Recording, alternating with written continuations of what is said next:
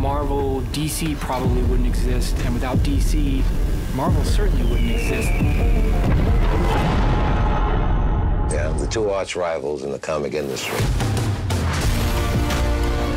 There was a division, you know, you either a Marvel writer or a DC writer.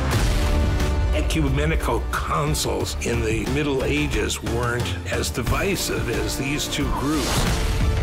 DC was always trying to one up Marvel in some way. There could have been no more important get than DC stealing Jack Kirby. How do you shake up an industry? Great stories, great characters, and important earth shaking events that will grab the public's attention. We take the work a little more seriously. The festivities begin. Marvel and DC are bitter competitors. It was a kind of game of chicken where they both ended up crashing into each other. It sounds like such fun. I couldn't resist. It was very special. It was special in a way that I'm not sure there's anything like that now.